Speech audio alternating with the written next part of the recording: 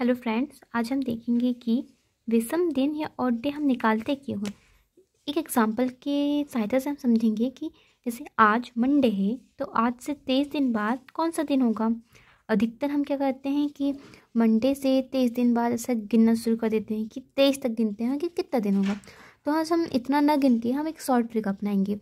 तो उसके लिए हमें पहले सोमवार से लेके सन क्योंकि रविवार तक के सभी में ऐसे नंबरिंग करना होगा। जब हम नंबरिंग कर देते हैं तो हमें इसे सॉल्व करने में आसानी होती है। तो हमसे क्या पूछा गया है कि तेईस तेईसवें दिन। तो हम यहाँ पे लिख देते हैं तेईस। और कितने दिन होते हैं? सा, एक सप्ताह सात दिन का होता है। तो हम उसमें सात का भाग दे देते हैं। जब हम यहाँ पर सात का भाग देंगे तो ये कितने, सात एकम सात सात उन चौदह सात रे इक्कीस।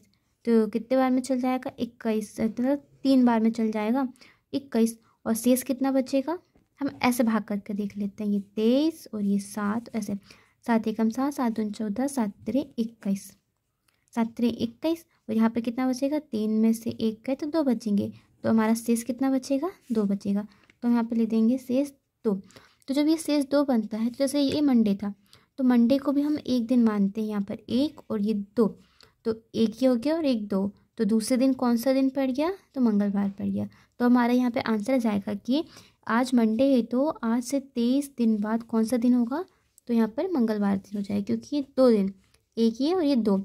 यहाँ पर कितना है? हमारा शेष दो है, इसलिए हमारा आंसर आ जाएगा मंगलवार। अब हम इसी प्रकार से नेक्स्ट एग्ज़ाम्पल देखेंगे कि जैसे यहाँ पे भी आज मंडे था, यहाँ भी आज मंडे है तो आज से यहाँ पर तेईस दिन था, तेईस दिन बाद।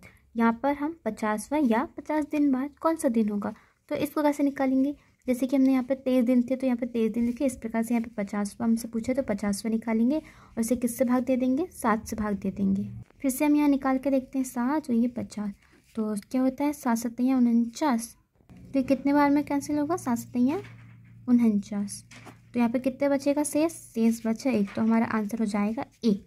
तो मंडे में हम मंडे को यहाँ पर एक एक एक कहाँ पर हमारा? मंडे हम मंडे को भी एक दिन करेंगे, एक दिन काउंट करेंगे तो उस दिन ये मंडे ही हो जाएगा। जी। अब तो आपको समझ में आ गया है कि ये मंडे क्यों पड़ेगा?